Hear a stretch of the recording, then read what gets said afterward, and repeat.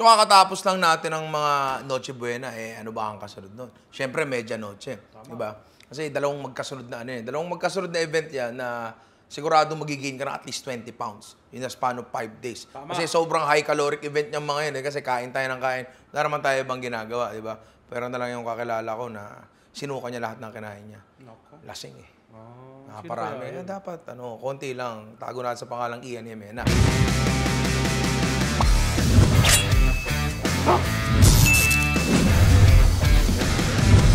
I'm sure, nung Pasko, marami kayo natanggap ng mga ganto, pare. Ayan, oh. mga pinapamigay ng mga companies yan. Pure Foods Fiesta Ham.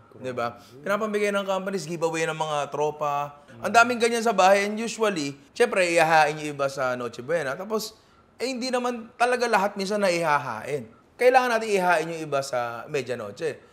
Kaso ang problema, minsan, may natitira pa rin, di ba? Ngayon, susolusyonan natin kung ano ba ang mga bagay na pwede nating gawin dito sa ating Pure Foods Fiesta Hub. I mean, ginawa naman talaga siya bilang standalone na item na kakainin as is. Tama. Pero, baka naman meron pang iba na pwedeng gawin. Actually, gagawa tayo ng medianoche ngayon. Ito yung pinakamadaling medianoche yung gagawin ko. Kasi, andito na lahat para may ham ka, may hotdog ka, meron kang, yan, nakatimplang liempo. Ayan, no? Uy. Pinoy barbecue liempo. Tapos meron ka ditong kansi. Uy! Pare, kare-kare. Uy. Pare, naiiniti na lang. Siyempre, fried chicken and eto pinakamatindi, pare. Spaghetti sauce. Uy! So ano pa bang inaantay natin? Simulan na natin to, pare. Gagawa tayo ng Fiesta Ham Bao. Pare, para magka-idea kayo, Jerome, lagay ka nga ng picture dito. Ang gagamitin natin ay Pure Food Fiesta Ham, pare. Kasi parehas naman silang matamis at malinam na. Usually, kapag gumagawa tayo ng mga tinapay dito, mga kung ano-anong ah, mga baked goods, ah, it's either walang sukat or yung sukat ko ay ginagamitan ko ng timbang. ba? Eh, hindi naman daw lahat sila may timbangan. So, ano daw ang pwedeng gawin? Pwede tayo mag-volumetric, pare. Susubukan kong gawing pinakamadali para sa inyo to.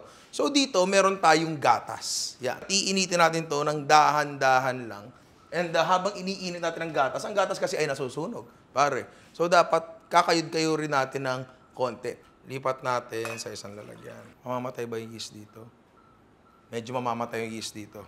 So, haluin nyo hanggang lumamig. Kasi ang ginagawa ko talaga dito sa mga ganitong bagay, hindi ko naman yan bubuin from scratch. Maging totoo tayo dito. Ilalagay natin dito ay 2 tablespoons ng yeast. Pre, 1 tablespoon ng asukal. Haluin lang natin to. So, hintayin na muna natin to kung aalsa. Sana hindi sila mamatay. At ngayon doon tayo sa mga dry ingredients natin. 5 cups ng all-purpose flour, pare. 5 tablespoons din additional ng asukal. 1 teaspoon ng asin, pero half teaspoon lang tong amin, so dalawa ilalagay ko. 1 teaspoon ng double acting baking powder. Ang double acting baking powder ay... Basically, meron siyang dalawang paglabas ng gas. Mas may ensure lang neto na lolobo yung ah, ah, tinapay natin. Pag hindi double acting yung ginawa nyo, baka hindi siya masyadong umalsa. Diba? Bakit tata? Ina-anticipate mo na yung joke ko eh. Bigyan mo na kasi. Ah, okay na. So, basically, yun nga siya. Kapag nag-contact siya sa tubig, bubula siya. Pero kapag nainitin din siya, bubula siya. Haluin lang natin yung mga dry ingredients natin. Aktibo-aktibo yung yeast natin para kitang-kita naman talaga, di ba? Ihahalo natin to dito, pero bago yun, may dadagdag tayo. 4 tablespoons ng mantika. Yan, tapos haluin lang natin yan. Tapos ihahalo na natin yung dito sa ating dry ingredient mixture. Kakamayin natin to. Ayan. Okay. Tapos pwede natin ilagay sa ating board. Yan. So, ganyan-ganyan lang muna natin. Push and fold. Ilagay nyo sa bowl kapag nanid nyo na nung mga, yun nga, mga 15-20 minutes pag makinis na siya. So, meron na ako napaalsa agad. Uy, grabe! Di ba? Eto na agad siya. Pero eto na siya. Ito yung magiging itsura niya kapag ah, nirest nyo na siya ng mga, say, 30 to, 30 minutes to 1 hour. Tingin ko ito, okay naman yung pagkakadevelop sa kanya. So, harina uli. Yan natin dyan sa taas. Tapos, lagay natin sa ilalim kasi ito yung may harina. So, hindi siya didikit sa lamesa. Hopefully. So, kuha kayo ng rolling pin. So, kung gagawin natin, try yung panataliin na square o rectangle. Tapos, paninipisin natin siya. Ayan. Okay. Tapos, huhulmahin na natin sa shape niya. Ba? Pwede kayong gumamit ng cookie cutter, pero tulad ng nakararami sa atin, wala ako nun. So, pwede na yung obas na yan, di ba?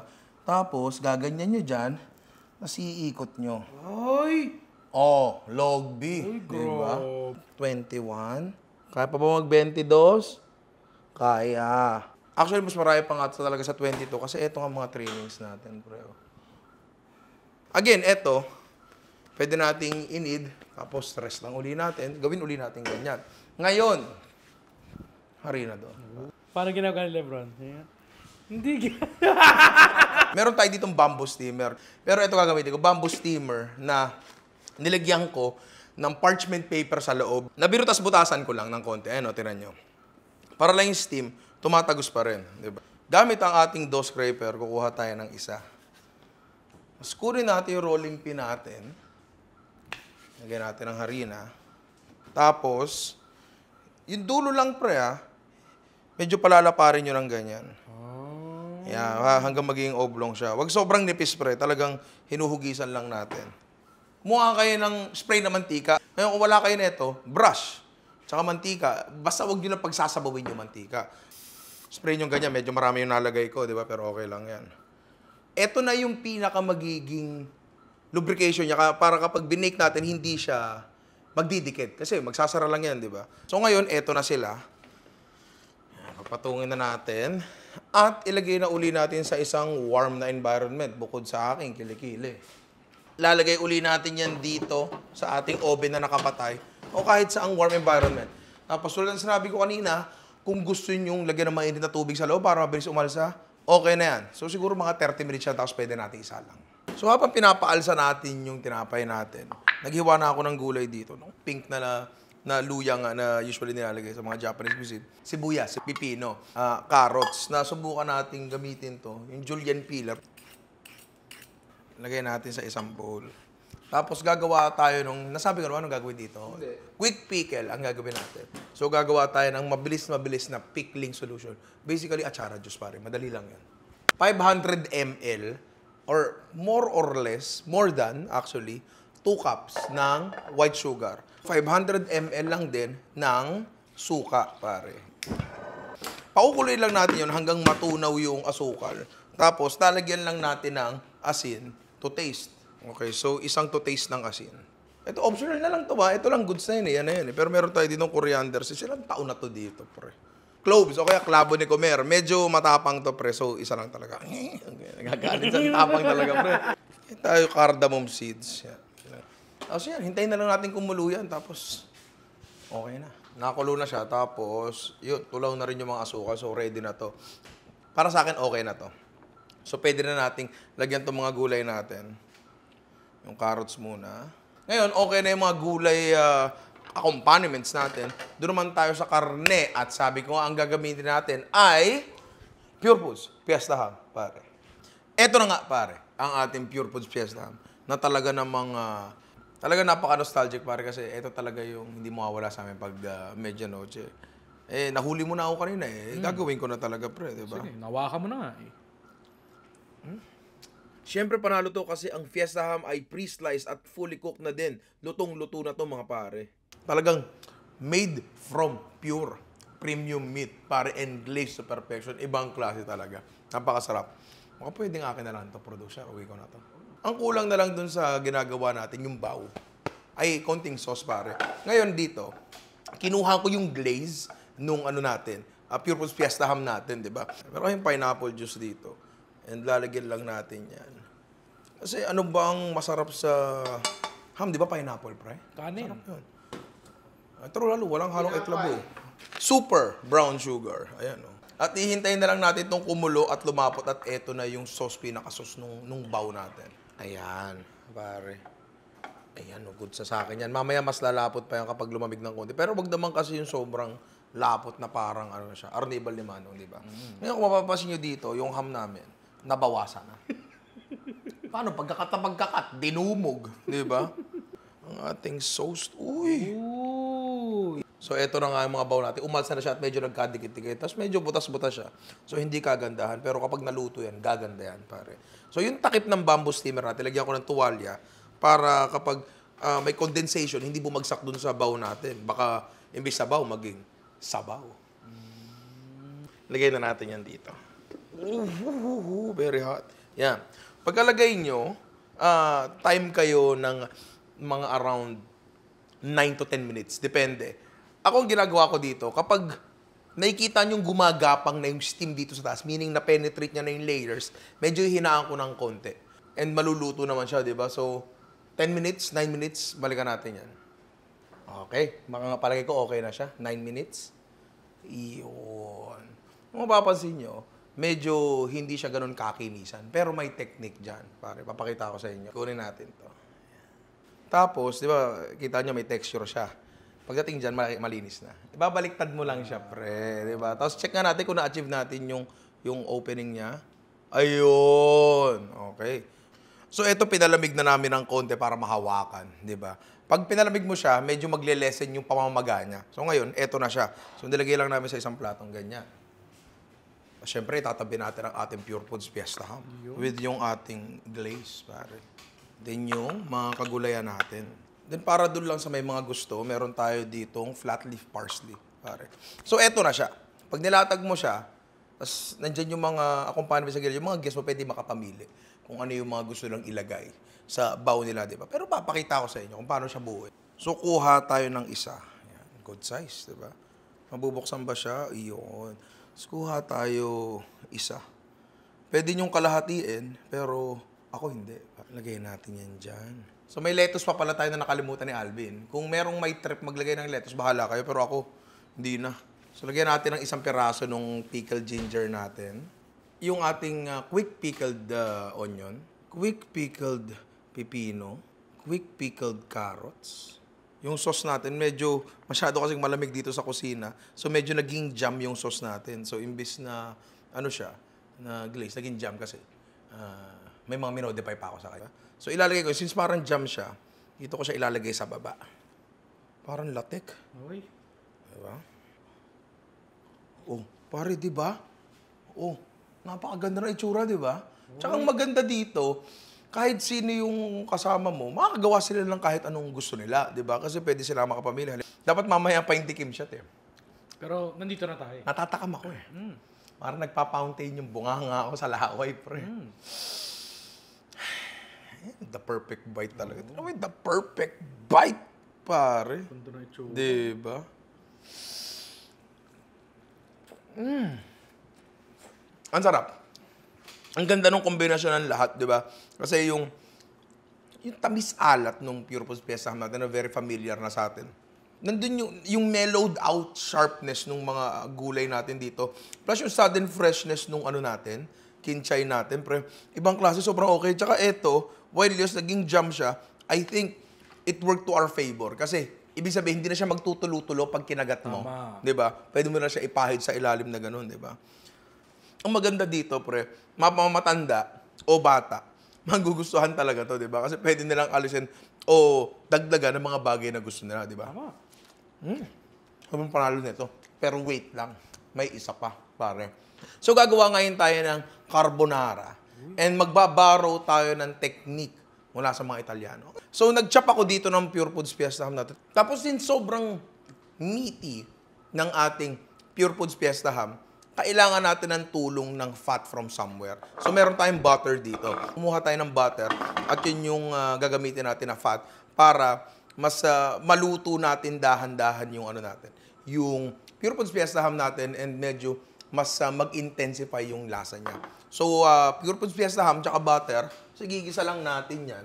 And once matunaw yung butter natin, hihinaan natin yung apoy hanggang, ah, ayun nga, hanggang, de, hanggang medyo maluto ng konti yung ating Pure Foods Fiesta. So, lutuin lang natin to hanggang medyo mag, mas mag-concentrate ng konti yung lasa niya. Yan. Pagka medyo ganyan na, pre, mapapansin nyo, medyo lumiit ng konting-konti kasi nga, niluto natin siya and kapag nag-evaporate yung tubig, mas nagko-concentrate yung ibang bagay niya. Plus, meron ako nararamdaman ditong konting-konting paninikit. Yun, kailangan natin yun. Gusto natin yun. Tapos, kailangan nating ikalas yun. So, meron tayo dito tirang pasta water. Lagyan natin dyan. Tapos, meron tayong pasta na luto dito. Hindi ko na pinakita. I'm sure marunong na kayo niyan, di ba? Kung di pa kayo marunong, Ask your mama. Yung mga ganito karami. May tinira ako dito kasi meron tayo dito pure food spaghetti sauce. So, mamaya yan, di ba? Yan. Yan natin dyan. Kailangan lang mahit lang thoroughly yung pasta natin para magkahiwa-hiwalay sila. Ayan. Kapag medyo lumambot na yung pasta natin, kita nyo hindi pa siya overcook, no? Maganda talaga dito, medyo i-undercook nyo ng konti, pare. Para meron pang room para, alam mo yun, maluto siya doon sa sauce natin. Yan. Tapos meron tayo ditong egg yolk, pare. Dalawa. And meron tayo ditong parmesan cheese na ginrate namin. So pagsasamahin ko lang tong dalawa. Tapos gamit ang rubber spatula, paghahaluin natin yung dalawa na yan. Tapos patayin natin yung apoy natin. Tapos ilagay na natin yan dyan, pre. Iyon. Tapos from here, work fast. Kasi kapag masyado na-expose sa init yung egg yolk natin, pre, maglalasang scrambled eggs yan. Ayaw natin nun, di ba? Di ba? Tapos wait lang, may kulang pa dyan. Cracked pepper na medyo marami-rami talaga. Pero tinan mo yan, pre, wala tayong nilagay na kahit anong cream dyan or what, di ba? Napakatindi, di ba? Plating na nga natin to. Baka manghingi pa si Alvin. Ito, mag-a-attempt na naman tayo ng ganito. Talagang hindi ko alam kung paano gawin to eh. Pero, bukan lang din natin. Pero hindi na, bahala na sa plating kasi gusto kong kunin lahat ng ham natin, pre. Tama. Di ba? Ibuhos na ng lahat dyan. Napakarami ng ham, oh. Hindi mo sasayangin yan. Pure Foods Fiesta ham yan, pre. Tama. Konti lang black pepper sa taas, pare. And that's it. Ito na ang ating Pure Foods Fiesta ham carbonara, pare. Di ba usually lahat ng ah, luto namin sa dulo namin tinitikman? For this episode, hindi namin ginawa yun kasi ayaw namin makompromise yung, yung pinaka-integrity nun dish. Halimbawa, ito. Kapag ito, sinerve mo agad, ah, maganda siya. Pre, buhay na buhay yun. Di sulat ngayon, di ba kitang-kita mo na glossy pa yung sauce niya. Pag pinagmamaya mo yan, wala na, mabubuo na yan, pre, para ng ano yan, baked macaroni. Ayaw natin yun, di ba? Tikman na to, dami kong ebas. Wala tayong nilagay na sauce dyan, like cream, gatas, wala. Pero tingnan mo, pre. Di ba?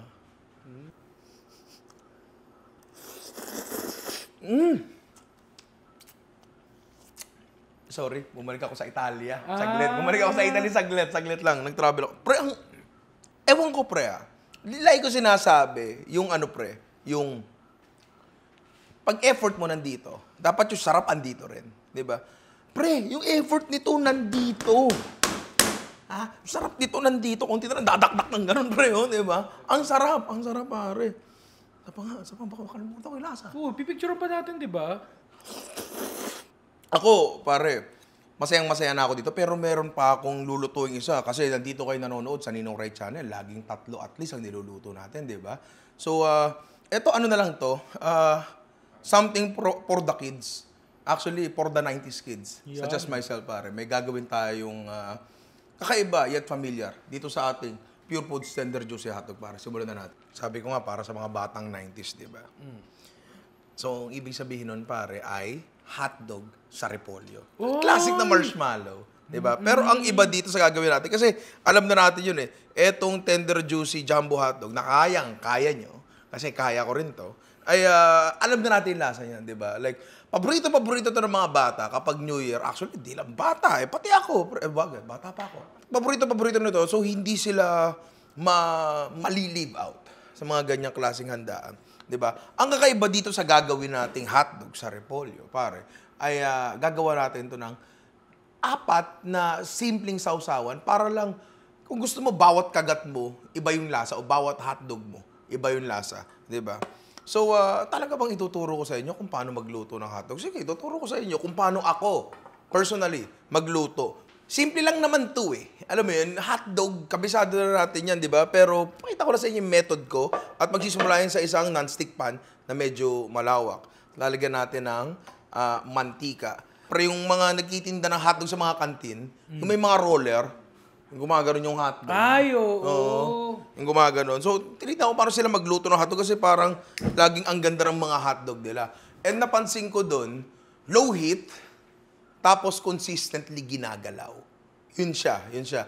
I mean, oo, sige pre, itong hotdog na to, technically luto na to eh. 'di ba Technically luto na yan.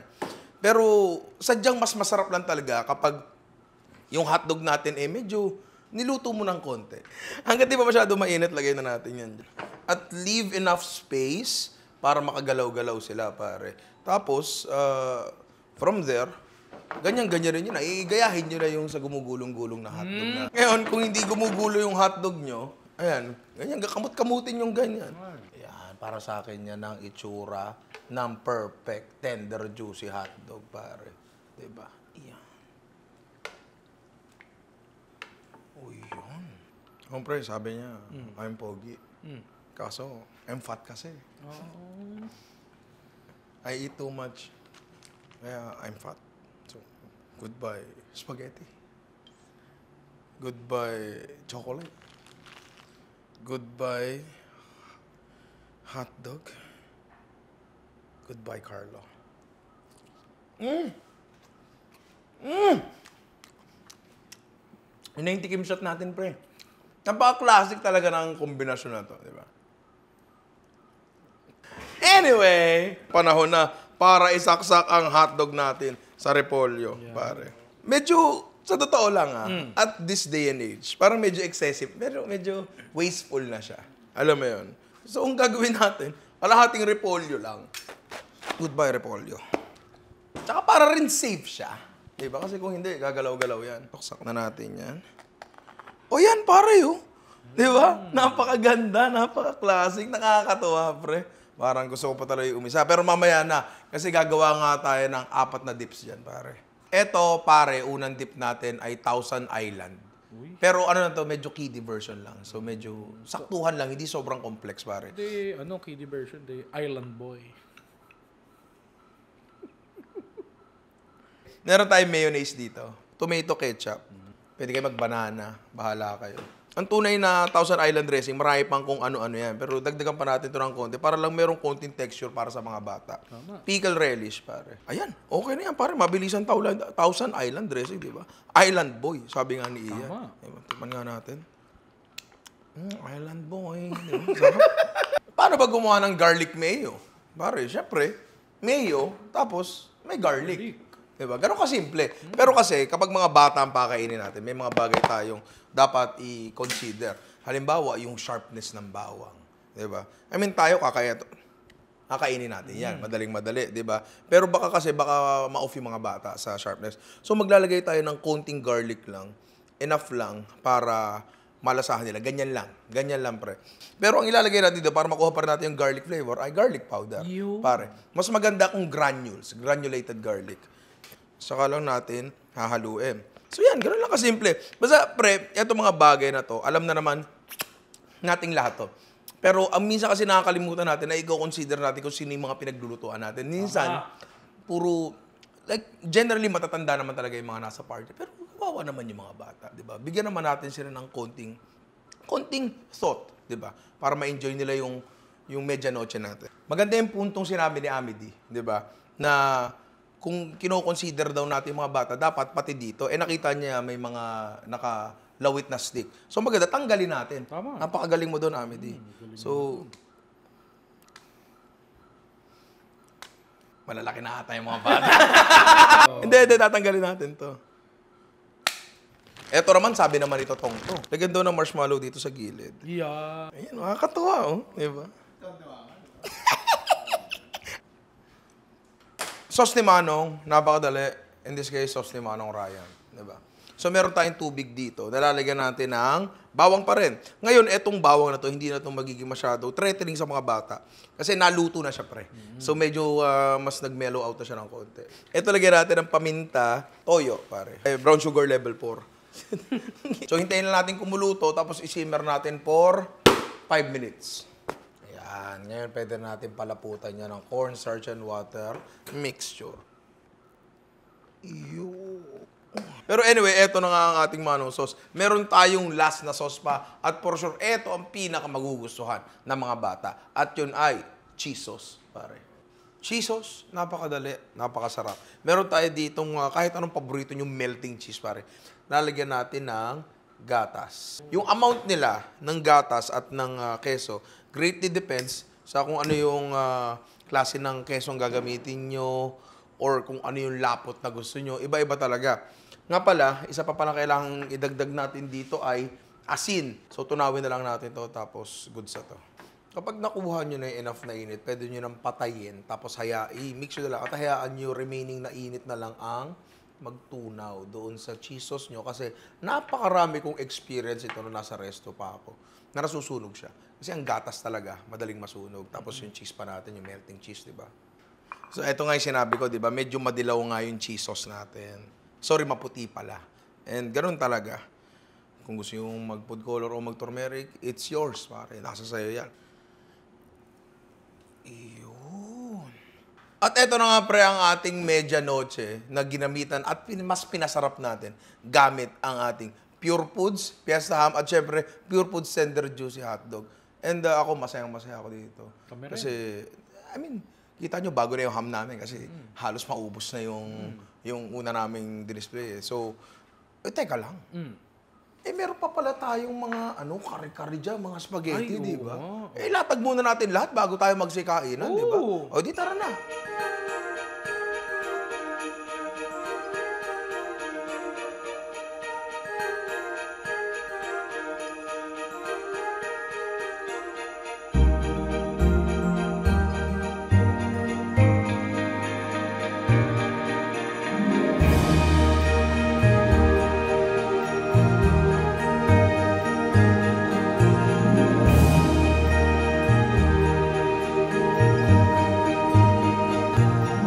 At eto na nga pare ang ating media noche na talaga namang napaka-festive, di ba? Saktong-sakto kasi ang sentro ng Noche Buena natin ay ang ating Pure Foods Fiesta Ham, pare. Pero teka lang, bago tayo mag-move on dun sa mga bagay na nakikita nyo sa inyong mga screen, tikman muna natin yung ano natin, ay 90s hotdog natin, pare, Yan. di ba?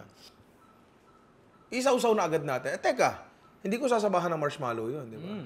Doon muna tayo sa cheese sauce, pare. Yung sinasabi ko, ayan, medyo magtitiken pa siya ng konti. Enough para hindi magkalat-kalat ang pamangkin nyo. Di ba? Number one, pinaka-juicy, pinaka-tender, at pinaka-masarap na hotdog sa buong mundo! Walang tatalo sa nostalgia. eh. Di ba? Tama naman yun, di ba? And alam naman natin na, ewan ko ah, at least para sa akin at sa lahat ng kabataang alam ko, ay ah, talagang first choice na to. Pero iba, ibang klase talaga. Yung cheese sauce natin, alam naman natin, din na ako kailangan magpaliwanag na masarap ang kombinasyon ng keso at hotdog. Di ba, pre? Tama. Sauce ni Manong na lasang sarsa ng lumpia. Uy, naghahanap ako ng ubod eh, nung tinikman ko eh. Mm. For some reason, sobrang familiar net. Alam ko na. Oh, oh. Yung ano pre, alam mo yung hotdog na iniihaw tapos pinapahira ng pamahid sa ano? Ah, sa mga ihaw-ihaw pre. oo. Medyo may ganung vibe siya ng konti. Sarap. Next doon tayo sa ating Thousand Island dressing na pambata. Island Boys. Sabi nga ni Ian, di ba? Classic din to na ano eh. Na palaman o sausawan nung 90s eh. Hindi ko nga alam na Thousand Island ang tawag dyan eh. Alam ko lang din ketchup mayo. Yun yung alam kong tawag dyan, di ba? And napaka-nostalgic. Pero, mas nostalgic sana kung ang ginamit natin ay banana ketchup. Pare. Pero okay pa rin naman siya. Masarap pa rin naman siya. Last pare, yung ating garlic mayo. Sabay ko na kaya marshmallow. Oh, Sabay ko na. no? sige. Tapos kagat sa repolyo. I was expecting na kapag nahalo siya sa hotdog, hindi na siya magiging okay kasi garlic powder yung majority ng ginamit natin. Pero hindi, pre. Okay pa rin siya kasi may minsan may makakagat kang konting sharp. Tapos bigla nandun yung mellow na lasa ng garlic powder. Sobrang panalo. Okay lahat. And higit sa lahat, napakadali at sure na magugustuhan ng mga bata, di ba? Pamangkin mo man yan, kapatid mo man yan, magugustuhan nila yan. Pero higit sa higit sa lahat ng niluto natin ngayon, ang pa nilang produkto, di ba? Pero sa mga niluto natin ngayon, pinaka natuwa ko dito, pre. Dito. Ayan. Halalalalalalalalalalalala. Kasi, ikaw ang magdi-decide kung anong ilalaman mo dito. And usually, ah, parang Chinese pork barbecue ang nilalagay dito eh. Pero pasok na pasok pala yung ano, pure foods fiesta ham natin. Kasi nga naman, ba't hindi? Pork din naman parehas. Tapos matamis din naman parehas, di ba? So, nandun sila sa parehas na realm na yun. So, okay na okay. And, eh, feast na to. Nagko-content pa tayo nun, pre. So, mas matagal kasi sinushoot natin, ganyan. Pero kung hindi ka nag-shoot at gusto mo lang maglatag ng ganito, napakadali kasi, and eto nga, meron ka ng ready to eat na kanse, etong liempo nila na napakasarap at napakabango, fried chicken, corn dog, teka lang. Dito ko pinaka na-excite sa corn dog eh. Pasensya na, bata pa ang ninong nyo, di ba? Mm. Tsaka gumawa na tayo ng corn dog dito sa channel na to. And medyo messy siya. Di ba, pre? Tama. Medyo messy siya gawin, di ba? And gagawin mo yun kung gusto mo talagang matuwa ang mga pamangkin mo. Pero pwede kang bumili na lang. Pero yun nga, para sa darating na medianoche, ah for sure, medyo pagod pa kayo sa paghahanda ng Noche Buena. So baka pwede mag-chill muna kayo. Alam mo yun? Andito ang Pure Foods para tulungan kayo sa inyong uh, medya, medianoche. And syempre, hindi nyo pwedeng kalimutan yung inyong Pure Foods Ham. Kasi at least, I- I'm sure hindi lang naman sa pamilya namin na ham yung centerpiece ng ano eh, ng medianoche, di ba? Hindi pwedeng mawala yun. Plus, hindi na lang siya ham lang on itself. Like, meron tayong mga ginawang bagay-bagay sa kanya para mas gawin siyang interesting. Plus, I'm sure, meron kayong mga extra-extra sa rep nyo, nabigay ng tsahin nyo, ng tsuhin nyo, ng ninong nyo, ng boss nyo, manliligaw sino-sino, ng manliligaw nyo, di ba? Ang dami pang pwedeng gawin. Actually, hindi lang yan. Marami pang iba. Kaya kung kayo meron naiisip kung ano pang pwedeng gawin sa Pure Foods Fiesta Ham, pwedeng comment nyo sa baba. Kasi medyo maraming ham sa rep eh. Pag ginawa ko yan, kulang, kulang pa. Pero yun nga mga inaanak, maraming maraming salamat sa inyo and Happy New Year. Sana masaya ang New Year nyo. At syempre sana naging masaya rin ang buong taon nyo, mga inaanak. Kaya i-try nyo na itong mga ginawa natin mga inaanak kasi sobrang dali, sobrang sarap and uh, available ito syempre sa inyong uh, mga pinakamalapit na grocery, palengke and syempre sa online. Lazada, Shopee at SMC Hub. So walang dahilan kung bakit hindi kayo makakabili ito. Kasi kung ayaw nyo pumunta ron, sila ang pupunta sa inyo, mga inaanak. Happy New Year mga inaanak and marami pa tayong pagsasamahan. Matagal nyo pang makikita itong pagmumukhang to. And sana hindi kayo maumay. Tulad nitong mga kasama ko. Thank you.